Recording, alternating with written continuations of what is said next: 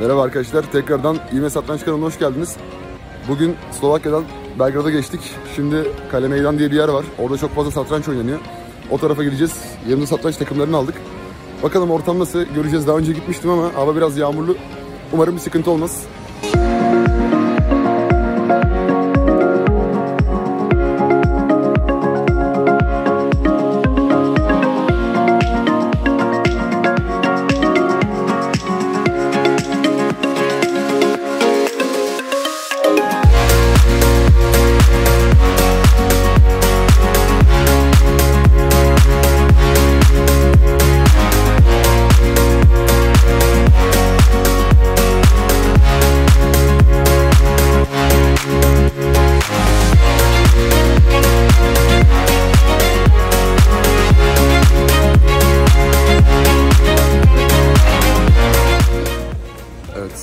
Kale meydana doğru ilerliyoruz. Arka plan böyle falan. Temiz yani. Evet, bu yolun sonu kale meydan. Bakalım. Yani Slovakya daha güzeldi bence ama oranın da gideri var. Evet arkadaşlar burası kale meydan diye geçiyor. Her taraf yemyeşil. Doğayla iş şey. Ah, magnet magnet falan. Ortam yapmışlar güzel. İleride solda da satranç tahtaları var. Şimdi size göstereceğim.